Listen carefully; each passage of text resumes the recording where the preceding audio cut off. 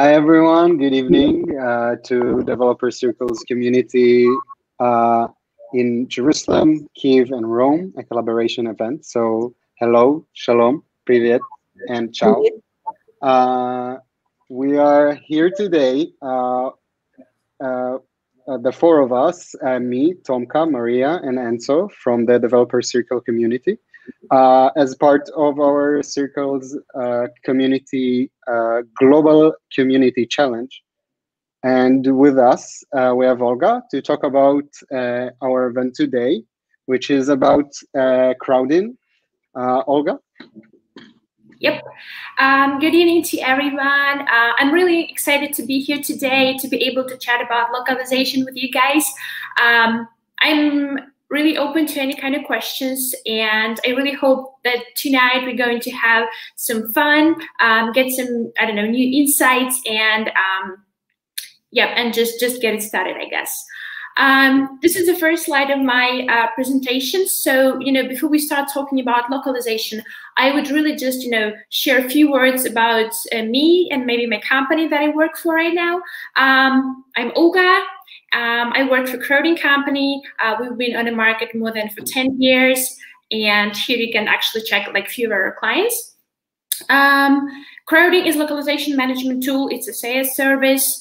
Um, so basically, it's not only the documentation localization we're going to talk uh, today about, but it's also web apps, mobile apps uh, localization, knowledge-based localization, design localization like mockups and everything. Basically anything that you as a developer would need to localize, right?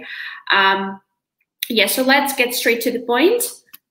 Um, you know, before we, we look into the deep, I would say so, um, uh, let's I, I, just would like really to share like a few basic things you know maybe for those people who are not familiar with localization like at all. Um, and i would start you know with the basic project roles like what kind of responsibilities people uh, have you know in, in the localization uh, mm-hmm. circle. So first of all localization it's not only about translators right? It's also about project managers uh, proofreaders uh, developers definitely. Designers and basically any team member you know who can help and you know somehow manage the process. So first, we're going to talk about translators' role, people who translate from the basic language or the source language to the target locales. Um, then we have a proofreader, somebody who takes care of existing translations. Usually, translator and proofreader make a you know it makes a perfect combination. They usually work together.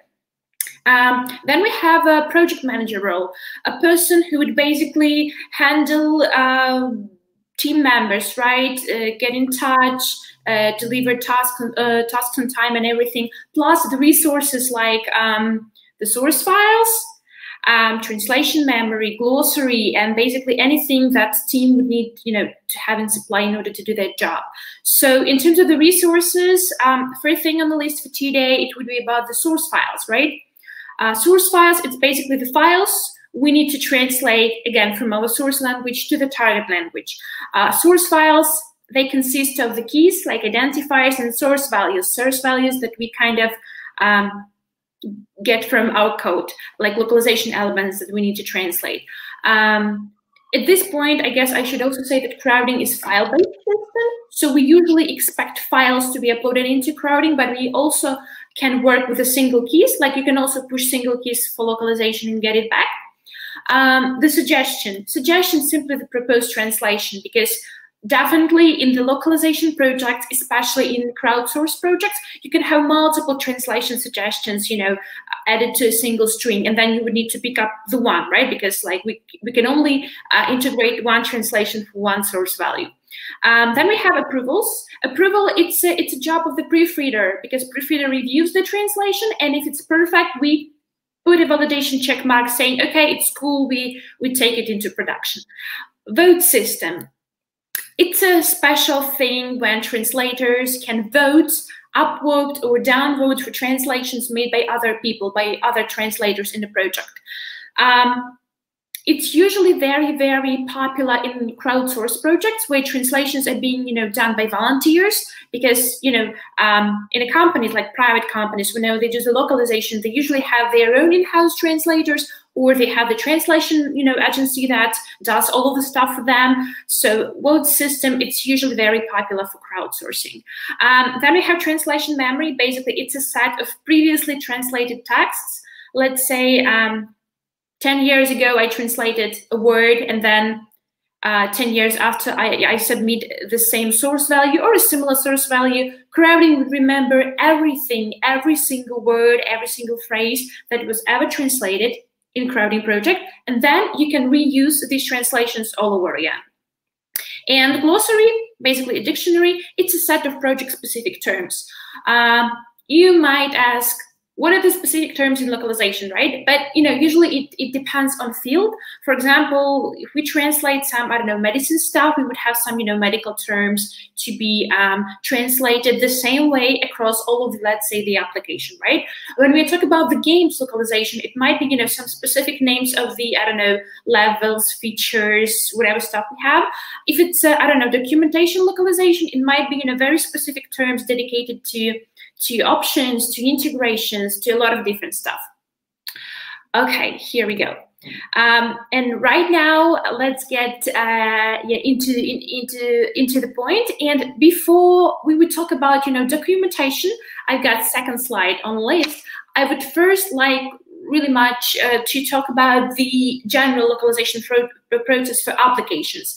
Um, web application, mobile applications like Android and iOS systems and here I got like, you know, I've got a list here, like a list of differences between localization of the applications and localization of documentations. Um, in order to, to show you that, I'd like to get into Crowdin project right now. I've got one prepared on my own. I forked uh, Visual Studio Code, uh, Visual Studio Code uh, documentation to talk about that. And before looking into that, I would really like to show you how Crowdin handles like very general and very uh, common application uh, localization. So thing we get right now, it's a Crowdin project. Uh, it's a view of the resources, like the source files uploaded into Crowdin for localization. Um, I mentioned that Crowdin is a file-based system, and it's very true. Uh, we also support a lot of different file types, uh, JSON, Android XML, whatever framework you guys using. You can simply upload, you know, your source file into Crowdin. We would automatically recognize it. We would automatically segment it based on the keys. If it's a key value file, uh, file type, then basically one key would be considered in Crowdin as one segment for localization. So if talking about the difference between app localization and uh, documentation localization, uh, applications, uh, they all consist of very short messages, very short term, terms that we are supposed to translate, right? Uh, we would, I guess, we would never come across like the key from the application, which would be like 10 sentence long, right? It, it's not, it's not possible. So for example, here, uh, we would always see, you know, like middle or very short keys that we are supposed to translate from our application. We don't need uh, to have a connection between those keys, you know, like it's a demo, it's a, it's an option about customers, it's an option how to create a project, you know, different buttons. So these are the shorter uh, texts and they are not being connected with each other. Like we don't need to learn how, you know, we don't need to learn translation for this key in order to provide translation for another key. But in um, in documentation, right? When we translate guides, tutorials, articles, it's crucial to be able to recognize, okay, if this is a, you know like the beginning of the uh, of my article that I'm translating, and this is the end. And in order to provide the best translation, I would need to to see the context, right? I would need to see the quality. Um, the coherence between those segments. So this is the main difference in terms of the just in terms of the text. Uh, documentation, it's always long segments of text, very static text, which are not usually, you know, updated or changed. We have an article, we translate it, we push the localized version for, uh, you know, into the uh, into the production, and that's it. We almost never come back, you know, to change something in the article. And in Crowdin, we've got this special preview option for tutorials and guides, usually they are being handled through uh, Markdown, HTML, docx files.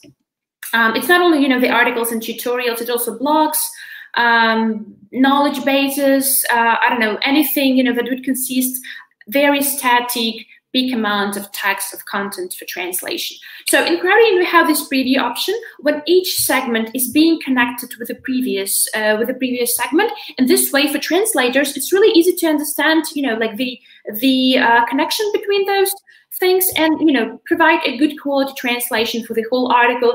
And what is better, uh, it's also possible to um, to preview the translation you're doing. For example, if I would translate this very segment into, let's say, Japanese language, um, and I would click this magic icon, I would see, you know, the uh, I would see already localized Japanese version right here in Crowdin for me is for the translator. And this way I can, you know, I can I can have a whole picture, like the whole puzzle for me. So I would understand that, okay, my job is done. It looks nice. It's all clear. And, you know, uh, coherence of the text is being preserved.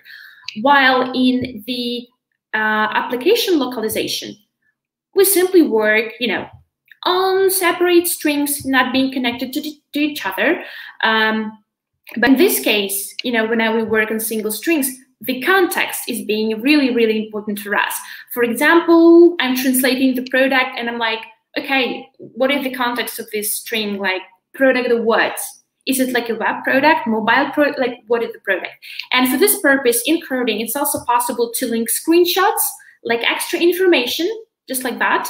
So when I'm, I'm, translating as a translator, I can always open the screenshot and look at the key, at the option, at the pop-up, whatever I'm translating, and see like, oh, it's a landing page. Okay, I got it. I mean, I, am translating that. Um, plus, a, in the app localization, it's really important to translate, you know, those keys, the source values, um, in accordance to the source text in terms of the max length. Like, um, let's say we translate from English to German, right? And we know that German language usually have really long nouns, and usually like the verbs and nouns they're you know a bit longer than in English. So while I'm translating, I might be like really you know worried about the length issues. Maybe my German translation would not be you know would not fit if I'm translating a button, right? Maybe German localization would not fit simply into the size. So as a developer and as a project manager, you guys can set max limit to the proposed translation. For example, if we have a button demo and then um, we don't want uh, we don't want our translator, you know, to translate it too long for German. For German, we might say that it's like four characters max, and translator will not be able to exceed this limit. For example, if I'm trying to translate something like this and I'm trying to save it, Crowdin would tell me, hey, your translation is too long. Please stick to the max length set by your project manager or by your developer. And well, I, I will need to think a bit, you know, just in order to match those uh, requirements. Or if as a translator, I'm not really, you know, I do not agree about this limitation, I can always, you know, ping my manager right here saying, hey guys, increase the limit for me. It's not possible, you know, to, to fit it into those uh, few characters. Um, okay. And what else? Ooh, HTML tags, placeholders, uh, plurals, and ICU syntaxes. It's again for application localization. Um, apps localization, it's all about dynamic text, right? I mean, um, we have new keys deployed, then our content manager, I don't know, can see, oh, it's a typo there. Let's update source tags and update localization for them. So in Crowdin, um, it's really easy to update source files. Again, it might be done manually. It might be done through the integrations like API or GitHub. But idea is that um, that if we work with dynamic content, I mean, we, we might have frequent updates and we might have such things as variables and placeholders. So in Crowdin, we do recognize those styles automatically. Whenever we have a, I don't know, a placeholder, basically any dynamic content, we highlight it and we usually give a, you know, give a hint to the translator that this specific variable, uh, like dynamic text, should not be translated. So as a translator, I should realize, oh, okay, maybe I should not really touch it, or maybe I should not really translate it literally. Again, we're talking about right now, I'm talking about crowdsourced projects.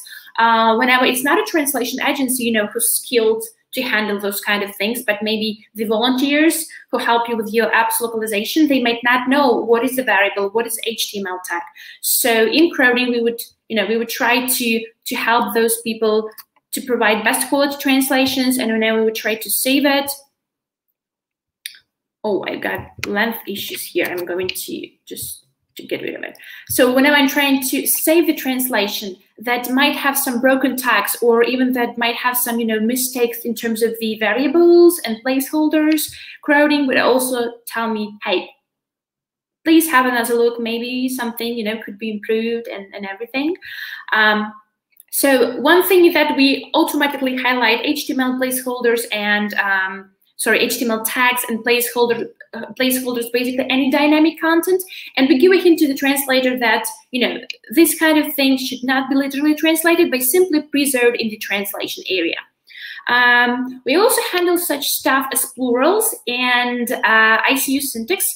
Uh, for example, you know, some file types like Android XML, um, gettext PO files, they support pluralization forms. So um, we can generate one key, but you know, with the different types of um, of the plurals translation to provide. And if let's say uh, in this project, I do, I do have English as a source language. So I uploaded this particular key to be translated into what I have here, German, Arabic, and Japanese. So Crowdin automatically recognized this is, uh, that this is a pluralization. And for German language, we know that German locale does have two plural forms, singular one and other for plurals. So what we do, we automatically provide translator with two options. So translation for both plural and singular forms, you know, can be submitted. Um, if we're talking about, let's see, Arabic languages, uh, Arabic language, Crowdin automatically recognize that for this particular language, it's actually the sixth plural form that are supposed to be entered right here. So translator would need to know that, okay, I need to provide six variants because this is a singular and then you know this is uh, the plurals but plurals of course they have you know uh, different different stuff like too few many other forms you know to cover those uh, pronouns and everything. Uh, yep.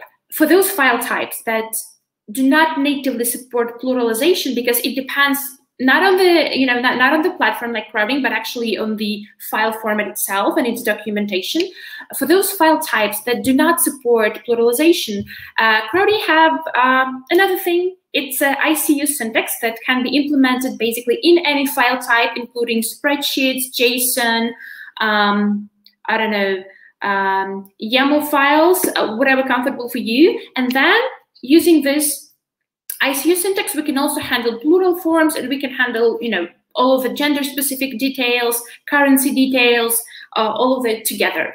Definitely all of this stuff, it does not simply exist in documentation localization because in documentation we have, you know, like a static article with no placeholders. There might be some HTML text as well, but no placeholders, no variables, and no pluralization, no ICU syntax rule, and, and that's it. Okay. And uh, for the application localization, we also, oh, the context, yeah, I mentioned that. And for the uh, documentation localization, yeah, I also mentioned the preview. So maybe just, you know, just to sum it up, like the documentation localization and uh, application localization difference in few ways. First one is that documentation, it's all about the long segments of text. We have long segments of uh, text each uh, linked to each other. So in order to provide the best quality translation, translators would need to have coherence of the text, would need to have a preview to uh, to follow from the very first segment to the last one and uh, and make sure they, they, they have a good translation. For application localization, it's a bit simpler. I mean, in terms of the text, because it's short text, not connected to each other. Uh, we can have context, you know, like special screenshots, you know, to provide uh, good translations. But in this way, it's easier. Uh, but then it comes to placeholders, then it comes to the HTML tags and plurals and ICU forms. These are the pitfalls, if I may, if I might say so, of the localization uh, of applications, because usually it's um, it's really hard to cover that from the very beginning, especially if you're a newbie to localization. But as far as it gets, um, I would say that like systems like Crowdin, uh, they are usually prepared, you know, to handle all those subtleties. And it's really cool if, if you could, you know, just add all of these elements, you know, from the very beginning. Okay, let's get further. Oh, machine translations. Um, it's, a, it's a special topic for today because I guess uh, localization nowadays does not really happen without machine translations. Um, based on my experience and based on the customers and on the project that we have here in Crowdin, I would say that almost everybody, like 90% of the customers are using machine translations, not because they are lazy or they do not have an agency, you know, to translate, but this is like the very basic things um, in our time. Uh, nobody wants to translate, you know, everything from scratch without having a hint or without having, you know, a tip. So machine translations here in Crowdin um, actually they, they provide this base they provide this you know start point for translators you know just to uh, jump straight to the um, to the process. And in Crowdin, we, we have few machine integration that you can actually choose from.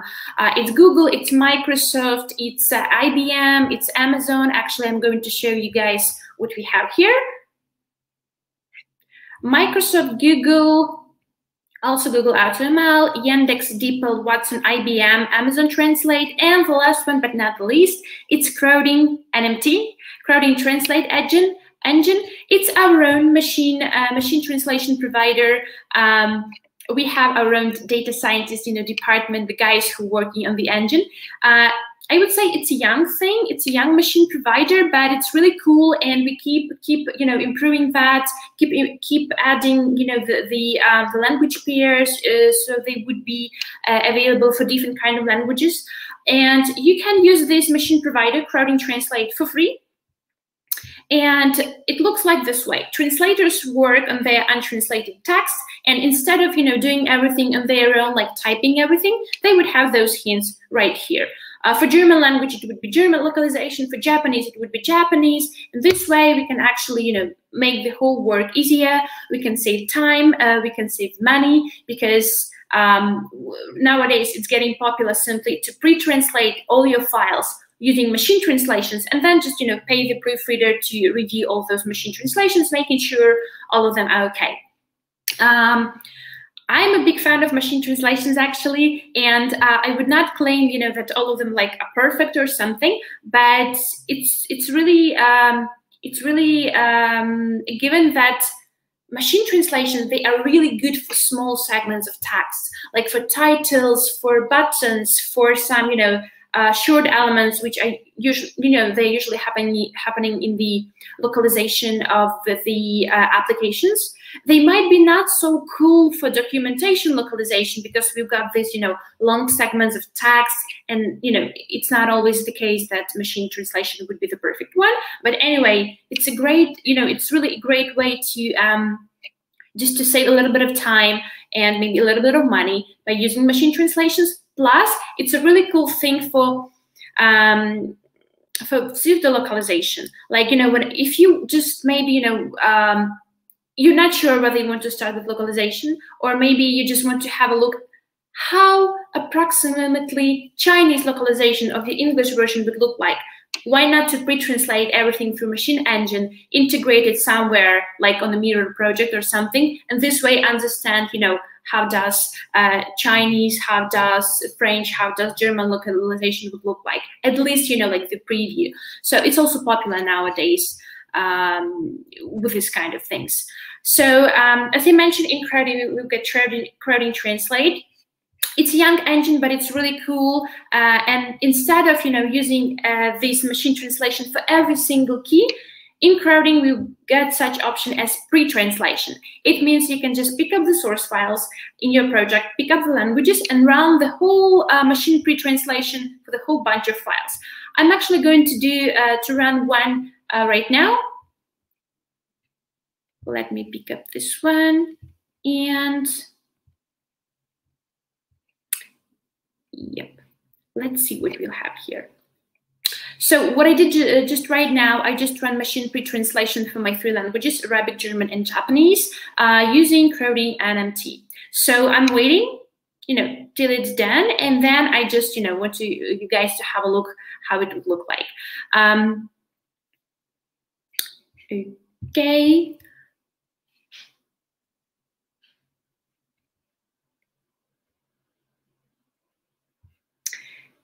While it's in in the process, I would also like to say that um, the Crowdin NMT uh, um, machine provider can be used, uh, uh, you know, alongside with other machine translators because a lot of our customers they use different kinds of machine providers to, to cover their uh, the content. For example, the Microsoft Make Office Make Code team, um, they also got you know their project placed here in Crowdin. And if we would just uh, look through the uh, different kind of locales, they have different percentage because it's uh, it's an open project where volunteers help with translations.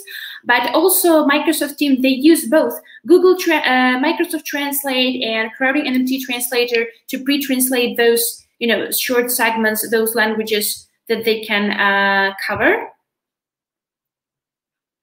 Oh, I'm not, I'm not, a, I'm not a member of Italian translation. So I'm going to stick to, to, to another locale right here.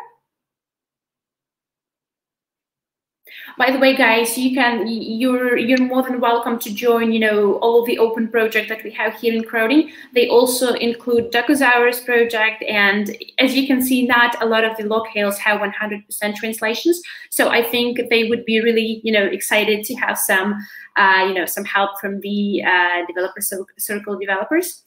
Um, the same for Django Girls and Minecraft team. They all of these projects they are open. Uh, anybody can join and help with translations. Um, okay, cool. I think that it's done actually my pre-translation. So let's see how how it would look like for the translated files. Maybe not in this language. Maybe just in another one. So the whole idea of the machine uh, machine translators is that they are easy, they are cheap, and it's definitely a good point, you know, just to start with your localization right away. Okay.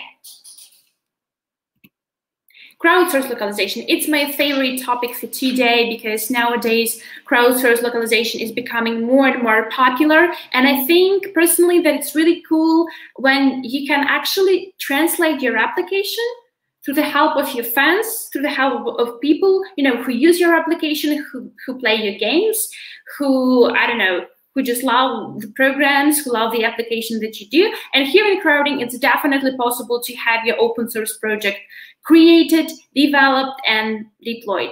Uh, one of the examples might be the Discord team. They have their um, the Discord platform uh, here in Crowdin, uh, open for everybody to join and help. And once they um, they actually finished it, I mean, uh, I think the last year they fully translated all of the languages using just the help of their fans, or their users. And right now, I think their website is already like multilingual, and they had like really, really a lot of languages, something about 20 languages, or even more, if I'm not mistaken.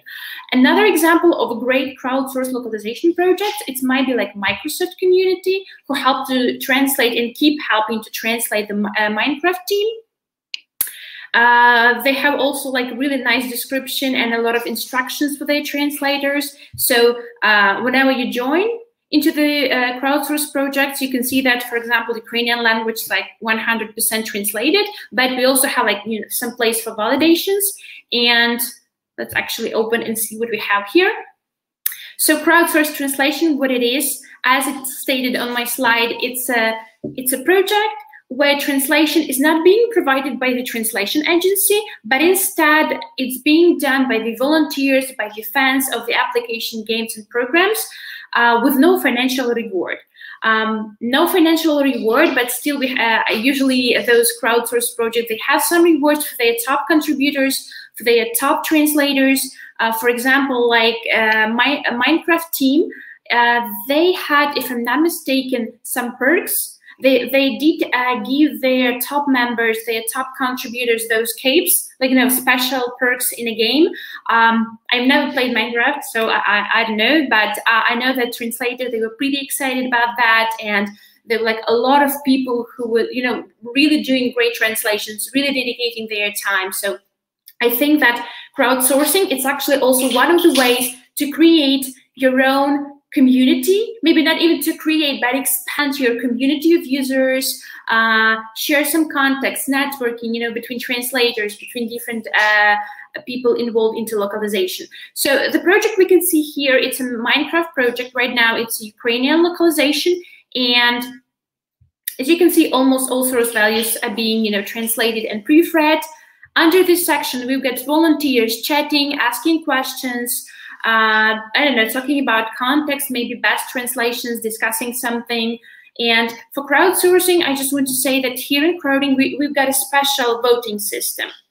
Because if you guys a private company and you hire a translation agency who do everything translate proofread make you know make sure translations are the best and only those best translations would be taken from let's say Crowdin and integrated to the website or application whatever in crowdsource um, we just have a big big community of people who are not really translators but who are fans of your application and who are able to help it means that if you're a project owner, right, and you're having your app translated through the crowdsource, you don't have like this middle level. You have translators, you have the management part, but you don't have proofreaders, right? I mean, how you can know that, let's say, this Ukrainian localization is good?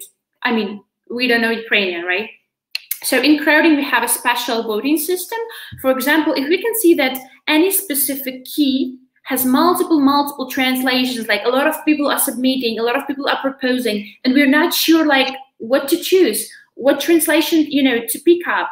Because obviously for one key we would always need you know one translation. We don't need to have 10 translations for the single source value. But in systems like Crowdin it's always possible to provide various variants of translation which we can see right now here and if you as a as a crowdsourced translator as a volunteer you join the project you want to help you know but everything is already translated you can you can still help and you can do actually the proofreading job. So instead of translating, you come and you just vote for those translations that you like the best.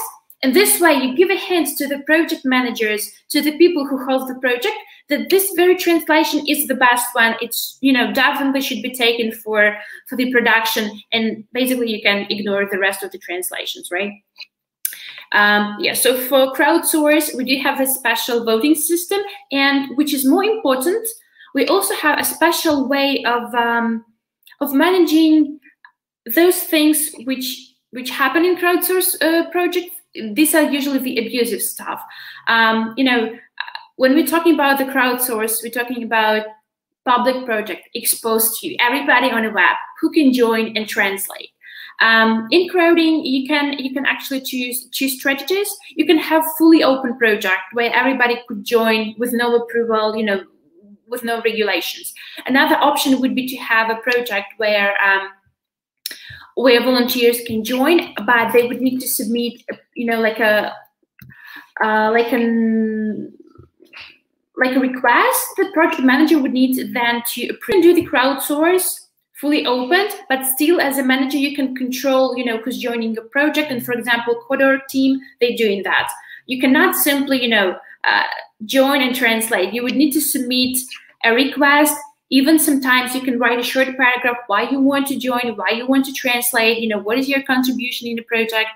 But for those projects which are, you know, fully exposed to community, to, to everybody, uh, we have such thing as report abuse stuff um, if you have hundreds of people who would like to translate, there is always a chance that somebody would join and maybe, you know, just have some fun, not really translate, but, you know, simply uh, submit some, you know, different stuff.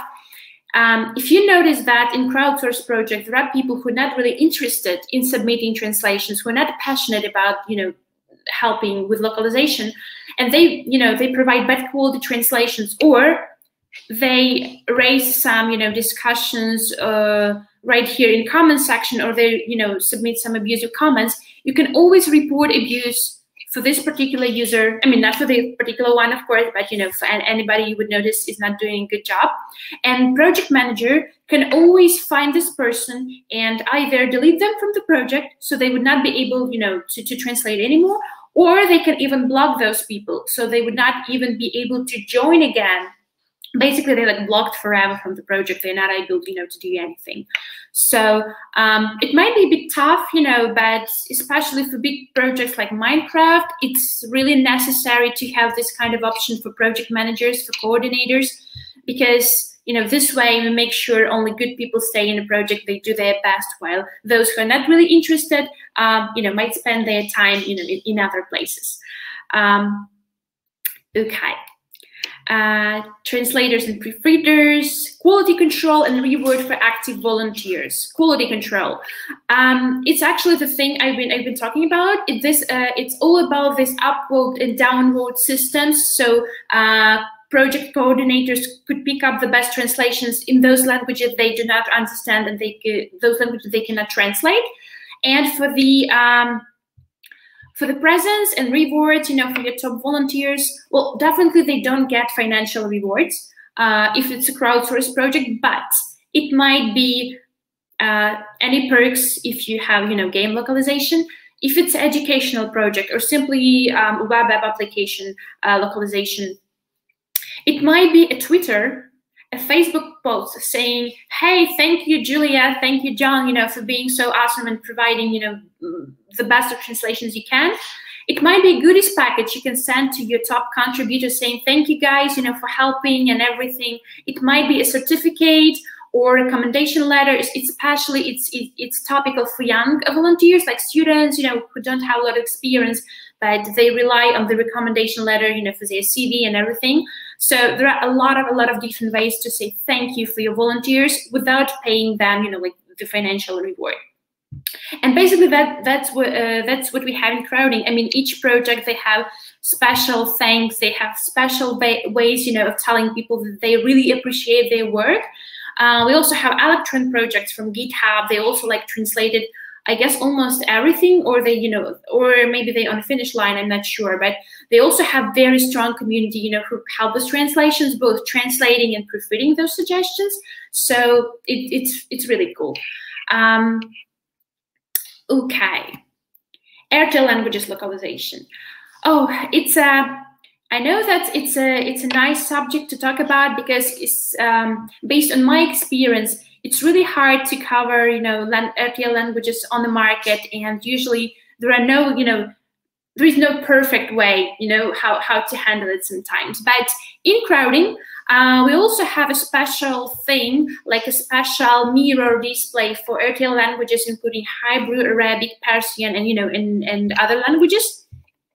So um, I really hope that for people, you know, who, who work with RTL, it's convenient and it's nice to work with those languages. Plus, we always, you know, open for the uh, for the feedback. We always want uh, strive to make, uh, you know, the view and everything even better.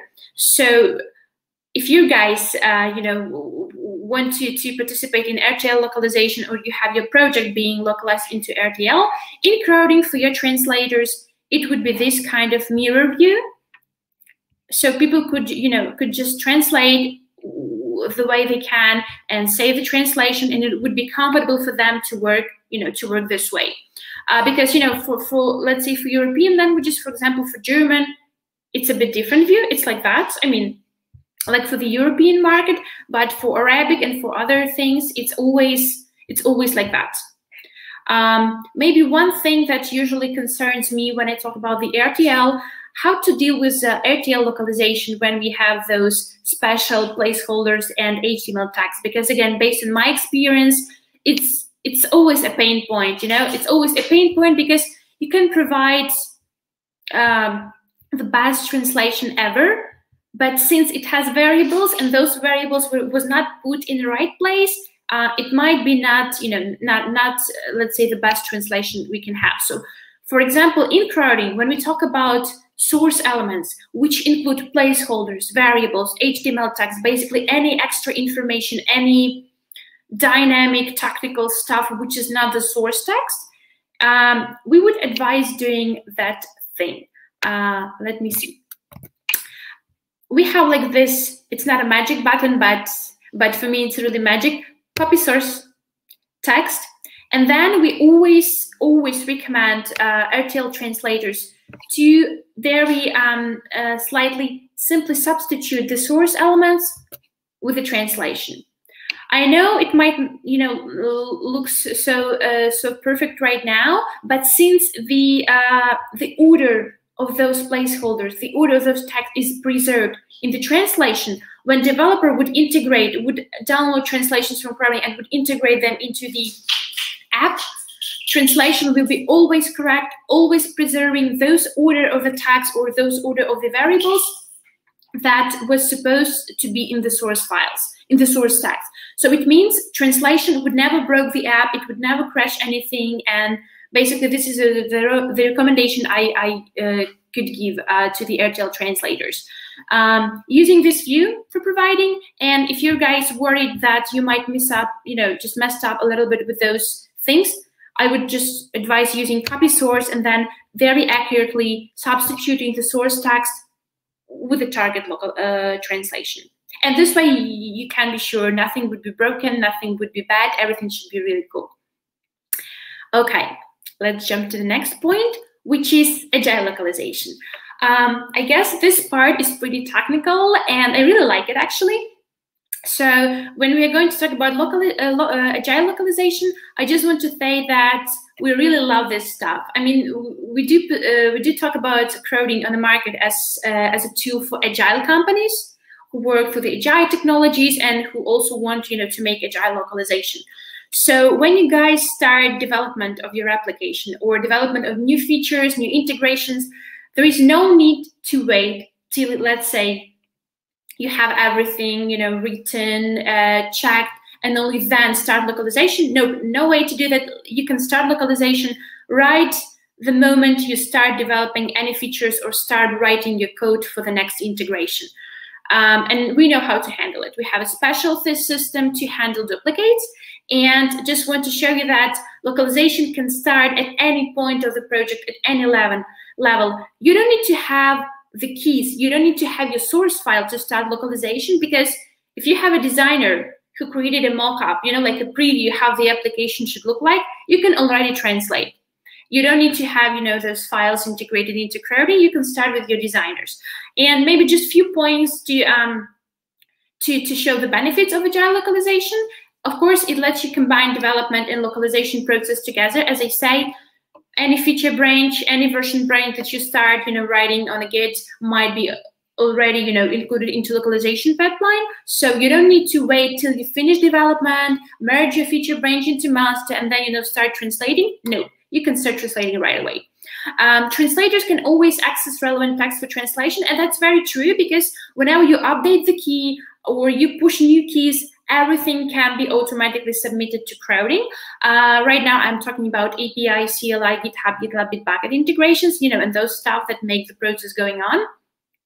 Then we have ability to check translations in the process rather than after release. And it's also very true because those translations that you guys make in Crowdin, they usually automatically submitted to your repositories. So they can always rewrite, you know, like the, the old version of translations and everything. So this way, having those uh, continuous integration through the Git or through the API, you can always have translations, like the topical translations updated.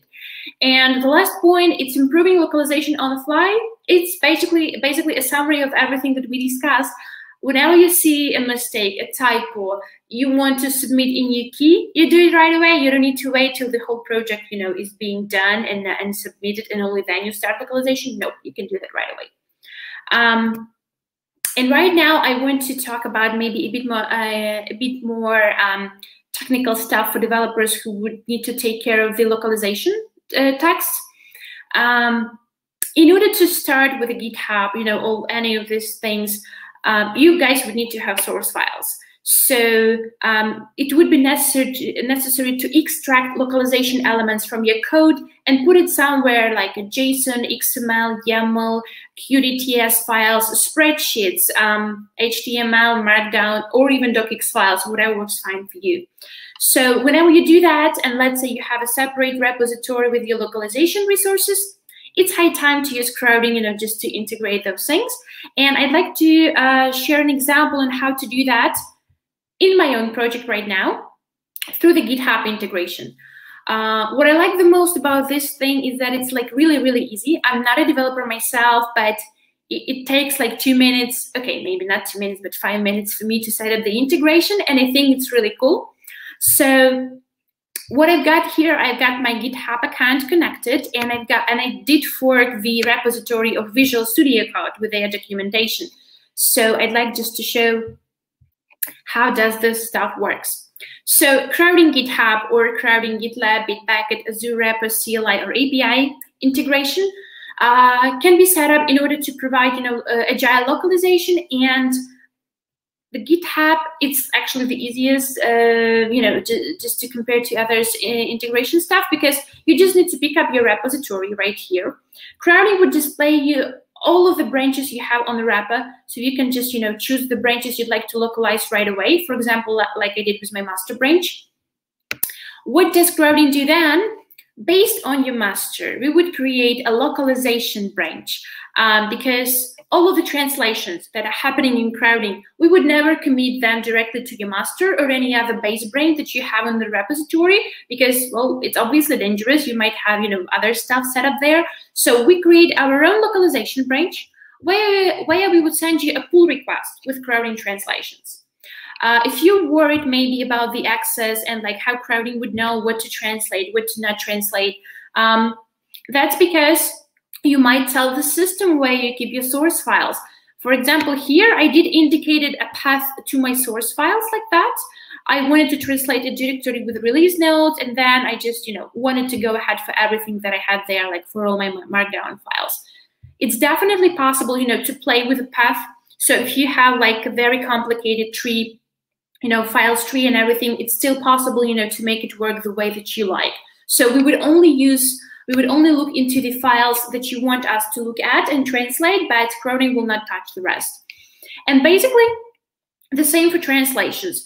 This way we know where to take the source files, like where they are, you know, placed on GitHub, on the repo. And translated file path, it's about translations, like uh, you can tell Crowdin that, hey, I want my translations to be placed into this folder, that I want to have a language code name to understand that, okay, it's Arabic localization, it's German, it's Japanese. And again, you can play with the path, you can play with the different patterns, you can, you know, combine it in a way that is, you know, just perfect for you. Here we go. And of course we have, you know, we can have a lot of, a lot of file filters like that. So it's not only, you know, the single path that you can indicate, it's it's multiple path to different um, for different file types for different places. You can you know you can have it all together. Everything that I you know that I set up here will be saved. Actually, it is saved as Crowdin YAML file on my GitHub wrapper. So I can always I can always edit my configuration not only in Crowdin but also in GitHub repository on my master branch. So basically that's it. What's you know what's needed just to set up the integration and if to talk about synchronization rules, uh, integration is fully automated, but you can also, you know, change the default settings if you don't like them.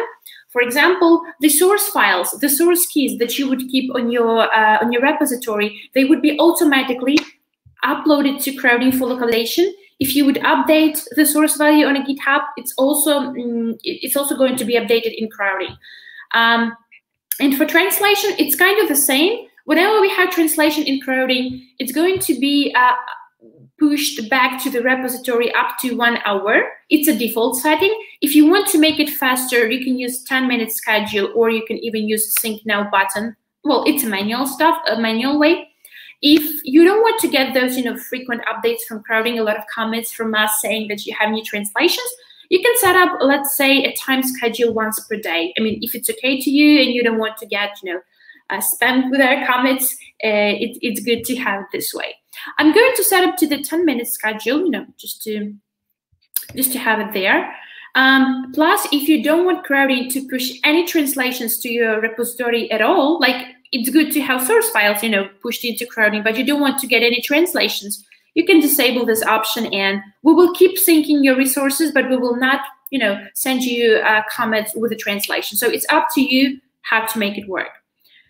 So yeah, that's why I say that it takes like up to five minutes to set it up if you have a, you know, like a, if you have a prepared uh, repository with source files. Um, it's also a few more options here, like you can set up like a pattern for for the new branches, you know, automatically added into Crowdin for localization. Uh, you just need a pattern, and then whenever you create a new feature branch, it will be automatically set up for localization in Crowdin. You would not need to manually tickle it or somehow, you know, um, edit it, it will be done, you know, automatically. So just want maybe to show you guys how it would look like on GitHub. Uh, in the meanwhile, we have a translated question. Okay. From uh, Ukrainian. Uh, so, is there a limitation from for massive of data which you have in Crowdin? Um.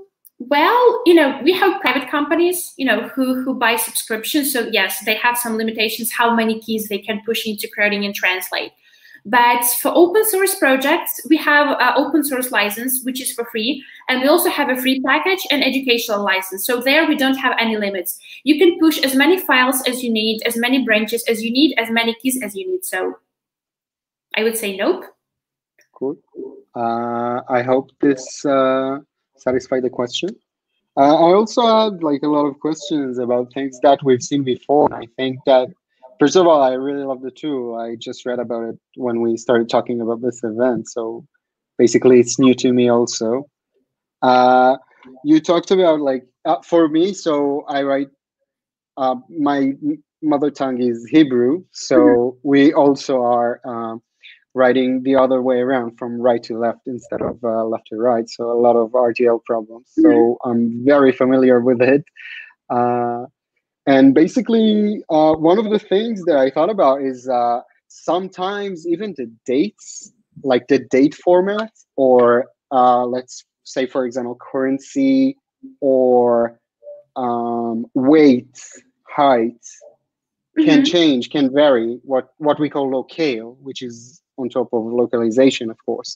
So, are you doing anything for that? Can I uh, suggest, for example? Uh, like an equation for a variable that will change depending on the, la- the language or localization?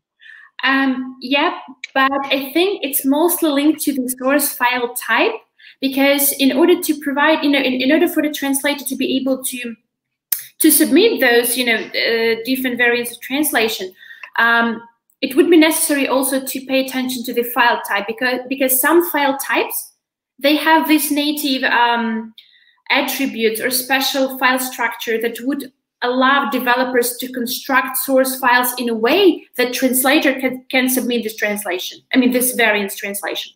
So mm -hmm. maybe I cannot, you know, like give you a straight answer, like yes or no. But if the file type supports, you know, those special attributes or those special things, then in Crowdin, translator will be always able to provide uh, the, uh, you know, those variance translation. For example, uh, again, the plural forms for Arabic, again, it's only about, you know, singular plural forms, but we know that Arabic has like this many options. So we automatically provide translators, you know, with an ability to provide this few suggestions. Um, gender specific things, currency, date, and time, it's usually done through the ICU syntax. So again, it depends like how the uh, source files are being constructed. Mm -hmm. Yeah. So right. it sounds a bit complicated, so, but is it possible to just just out of curiosity because of this whole thing?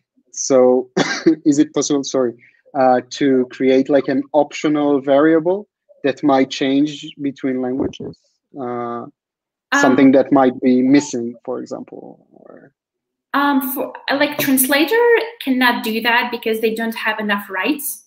Because mm-hmm. usually you know if translator would do that and project manager cannot control it it might end up in an application being crashed. I mean of course you know i'm, I'm dramatic a little bit but it's mm-hmm. open plans so for translator they don't have such an option unfortunately. But for those people who work with the mm, with the resources who generate source files they have an ability to provide you know some special construction so then translators could submit you know those those different variables. But for translators no unfortunately no. Nice. Pretty cool. Okay so we have like one last question for now and then i'll let you go on for a few minutes. So uh, from our developer circle so um, uh, Casimir asked if I want to use Crowdin for localization for my project, should it be open sourced? Um, no, no, it shouldn't be open source. I just mentioned that, that we do have special open source li uh, license, but we also have a free package where you can have unlimited number of public projects. So you're welcome to go ahead. No need to have open source uh, like wrap or something. All right, cool. Thank you. Um, okay. uh, let's see. Oh, we did have a discussion about the GitHub, and I just really, really, you know, very quickly wanted to show you that you will get pull requests from Crowdin like that, new Crowdin updates. You can open it, you can look through the comments. If you like them, then you perform a merge to your base branch. Um, you, you would have also like the file name and also the, the target language you're having comment for. And if you like everything, you can always create a merge request to your master branch, to develop branch, you know, whatever is, uh, is topical. But I would always recommend squashing and merging because, you know, just to group all those comments and your history will not be, you know, get get all uh, set with, with Crowdin comments. And one more thing, when you get translations from Crowdin to GitHub wrapper or any wrapper that, you know, any service that you're using, um, I would always recommend deleting this temporary service, or as we call it, localization branch, because next time you're going to have new translations, Crowdin would create a new branch. So it's a process like that. We get translations from Crowdin, we review them, we merge them, we delete this temporary branch, and we wait for the new translations to come again to the um, uh, to the repository. And when I was talking about uh, uh, about agile localization, I also wanted to say that it's not only the source files, right, that we translate because we have them extracted from the code and everything. I mean, let's imagine a situation that we don't have source files at all. We just have our designer, right, right, created a mock-up or something, so we would know how how those you know beautiful things would look like uh, to the end users. So I just wanted to say that in Crowdin, it's possible to start localization simply having the mockups if you guys using Figma, Sketch, Adobe XD, um, you can ask your designers to push those beautiful mockups into Crowdin, translate them, and then your designers would have um, completed localized versions. What I wanted to show you right now in this project, I also got a I also got a Figma here, you know, for a very quick uh, test. Uh, this is a frame like a basic one. And I use Crowdin plugin in order to, you know, in order just, just to push those mockups that I have into Crowdin for localization. So this very thing right now is already uploaded into my project. So I'm going to check how it looks like for, for translators. Um, and what does this plugin do? It scans the, the frame from the Figma, Adobe XD, or Sketch, and for translators, it's really cool because they have the whole picture. They don't have single keys with no context, right? They have the whole picture. They can translate it. They, they can, you know, they can see how it looks like. And what is more important, they can preview the German localization, Japanese hybrid localization, and they can understand, you know, uh, whether it fits whether it's okay, uh, whether nothing, you know, was corrupted or everything. And then when translations are being done, I just use Google, you know, to make it fast. Um, we just open the plugin and we uh, we sync translations back to Figma. In this way, designers they can also have localized versions uh, of the frame. They don't need to wait till let's say some source keys would be translated and then somehow it will be integrated on a website and, all, and only then they you know open the landing page and they can see oh my god french localization does not fit into my button. No no need you know to wait uh, for that stuff. Uh, while developers extracting the keys and translate them the same is possible for designers. So they created a frame they pushed it into Crowdin and they had it and they can see that, oh, German localization, just perfect. No need to adjust anything, no need to make work shorter, you know, and things like that. So yeah, it's just an idea that localization might start at any point. So uh, including the design part, development part, quality assurance, and just the idea itself. Um, talking about that, I would also just, you know, would like to mention that it's not only like the GitHub and like uh, design tools that we have integrations with. Nope. Uh, Crowdin is actually um, a tool that might be really nice for um, uh, for support team management, like you know the knowledge base, like Zendesk and Weak Sensors. Also about apps description, like Google Play, App Store description, and stuff like that. Uh, we do have. Um, we do have like the whole marketplace of different localization things. which can be used. Um, the integrations can be used, you know, just to make the whole process really nice and really smooth for each part, for each role. What I mean here, we have integrations for developers definitely just to make their life easier, but we also have, you know, like really nice to have integrations for project managers to make their life easier, uh, including Dropbox, you know, Google Play, uh, for tag guys, for content writers, we've got Contentful, and I mean, a lot of a lot of different stuff which you can pick up um, and simply, you know, use in your localization project. You don't need to pay extra for those integrations. You know, even in free package, uh, I think API, uh, all of the plugins, you know, they are being already included. So I just, you know, really encourage you to give it a try. Um, okay. What I got here, oh, if you guys wondering how to start, maybe you don't have, you know, anything prepared for localization, um, again, it would be maybe enough just to have your source files. I know that maybe it, it's not so easy, you know, as it sounds to get your source file, you know, to get it from the code. But once you have at least something, or even the mockups, you know, uh, it's really easy, you know, just just to start doing that. So um, it's either files. If you don't have files, but you have, you know, multiple keys, we've got a string-based API, so you can also, you know, go into experiments and and uh, play with things a little bit. Basically, if you don't want to get into any technical integrations at all, you can simply push your files manually, like drag and drop them from your computer or create files online in Crowdin like a spreadsheet files. It's also possible.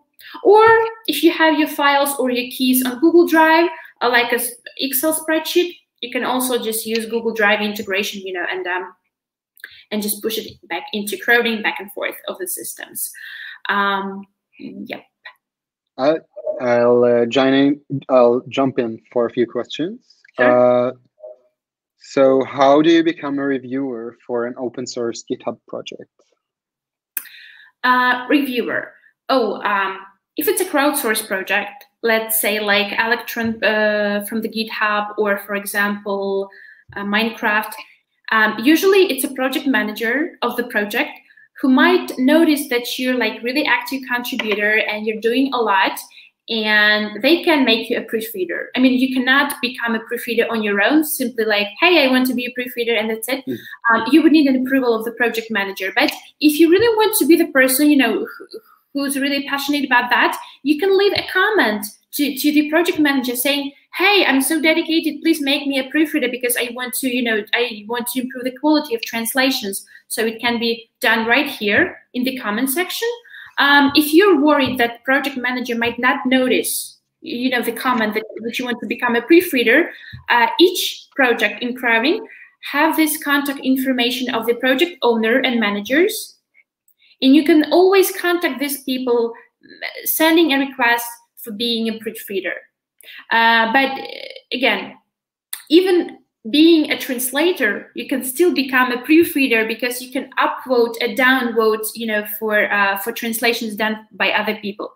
A proofreader's role it means you can validate, like you decide this this translation is going to be taken for export. But as a translator, you can simply like and dislike the translations by other people. All right. Uh, another question from Anna Lichnak. Linchak.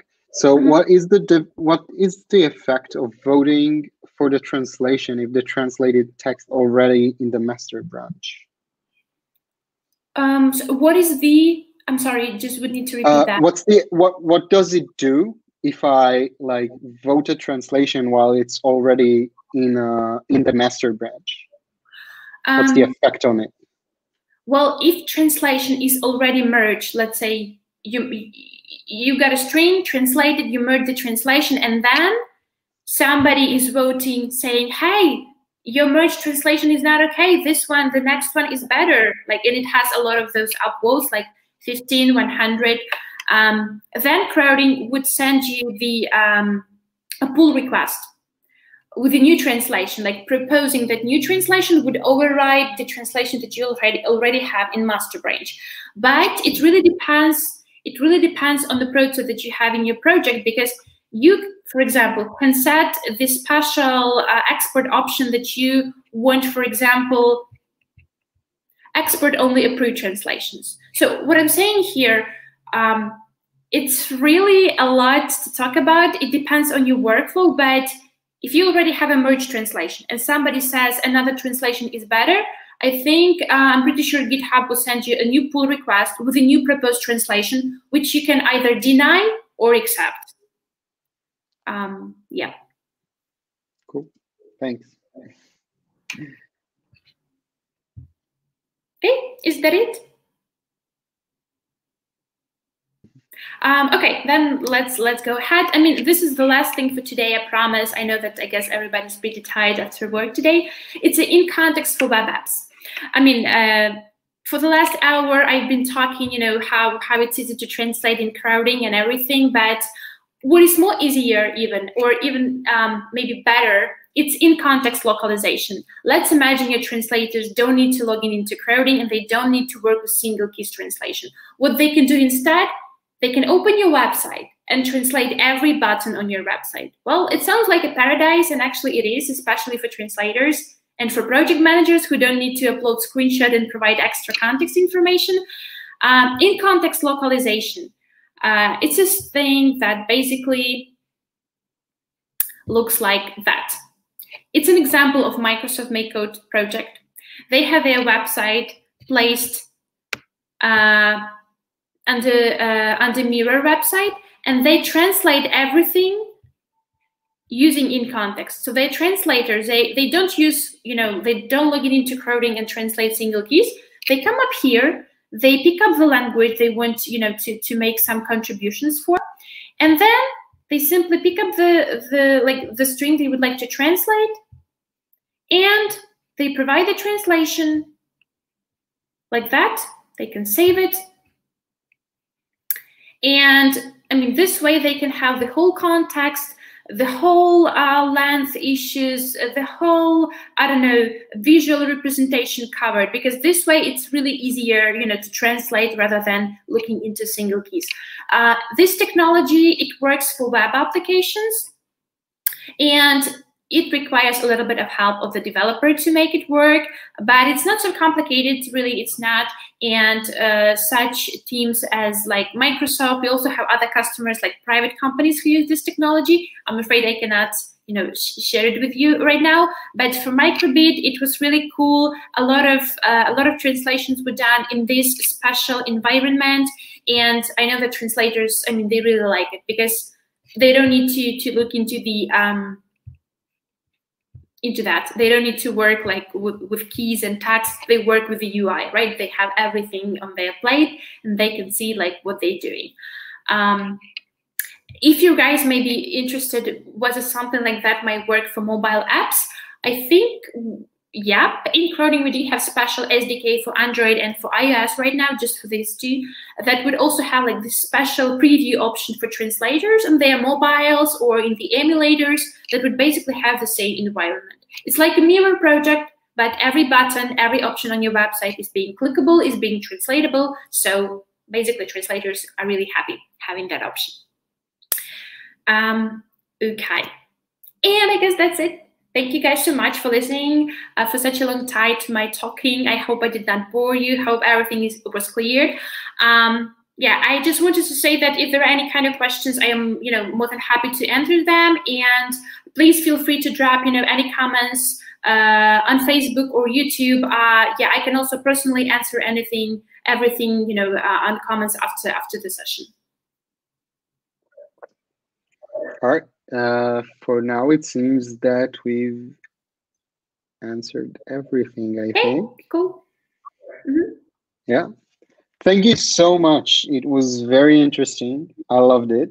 Uh, it's super relevant for me because I'm working on one end, I'm working on iOS apps, so like tons of them. So I need that. I need a tool like this because I've I've already like failed localizing even even when i am the translator because i know like two languages. Uh, so most of us here are uh, bilingual at least. So we know at least two languages. So for for all of us it's super relevant. Uh, so it was really cool. Thank, thank you so much. Uh, thanks for the other hosts that helped me. Tomka and so thank you everyone. Thank you guys. And I'll see you next time. Yep. Bye. Bye.